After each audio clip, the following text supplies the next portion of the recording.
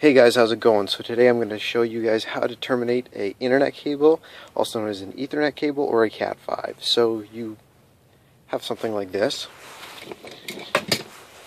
and then you take your knife, like so, and you just score around the edge. You can leave a lot of room or not. If you're watching this, you're probably new, so it's good to leave a lot so you have lots to play with. As you can see here, you'll have wire and you'll have a string. Just cut the string out.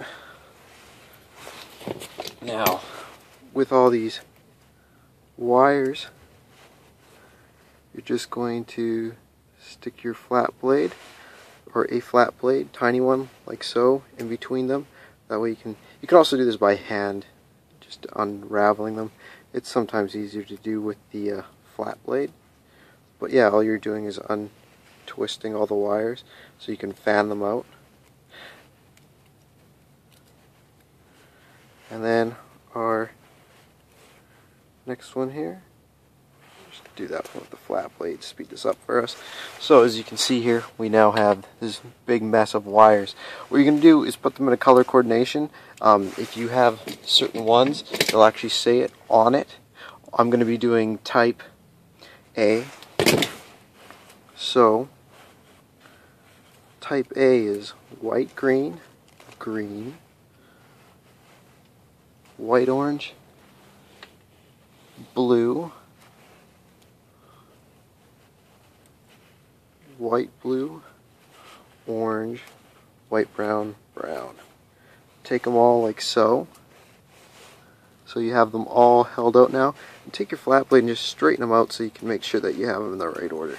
So go over them again, white, green, green, white, orange, blue, white, blue, orange, white, brown, brown. Now hold them just basically a thumb or finger length, just like that off the sheath. So you're pinching it. I don't know if I can show you that, but you're just pinching it in front of the sheath. And then what you're going to do is take your tool like so, take it, and you're going to cut the tips off. So it's just like so. Make sure that uh, you're pretty straight like that.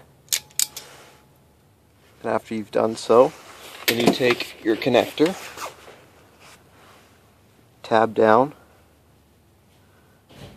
and slide it in like so. Slide it into the connector, make sure you're butted up. And after that, you just put your connector inside like this after you've got it in. You can also confirm your color order in here. Just go over it, make sure you're all good. And uh, yeah, so put it in and then crimp. After you've crimped, check your connection. As you can see in there, you can see your wire colors.